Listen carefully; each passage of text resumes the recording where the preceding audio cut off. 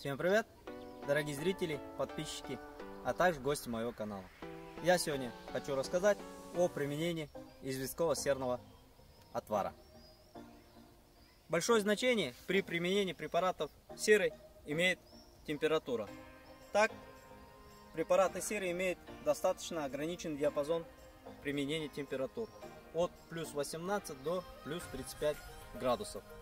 При температурном значении ниже плюс 20 градусов препараты серы недостаточно эффективны, так как очень слабое испарение препаратов серы. А наиболее максимальных значений достигает при температуре плюс 35 градусов. При температурном значении плюс 23, плюс 27 градусов препараты серы мало эффективны. При температурном значении плюс 27, плюс 30 градусов споры грибов погибают за 5 дней, а при температуре выше плюс 33 градуса за 1-3 дня.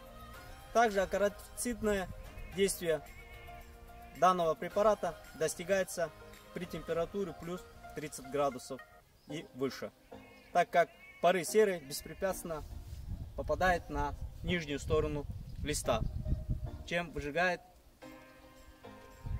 клещ.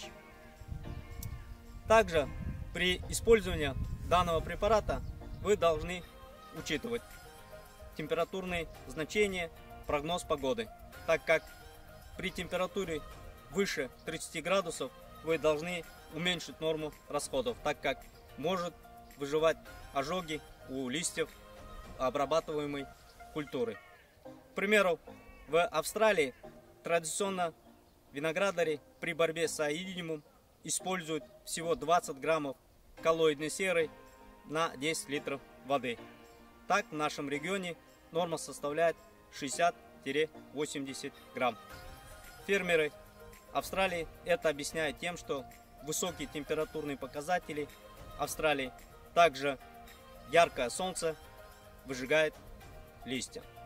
Так, давайте приступим. Я прошлый раз показывал, как приготовить известково-серный отвар. В данном случае 12 градусов по баме.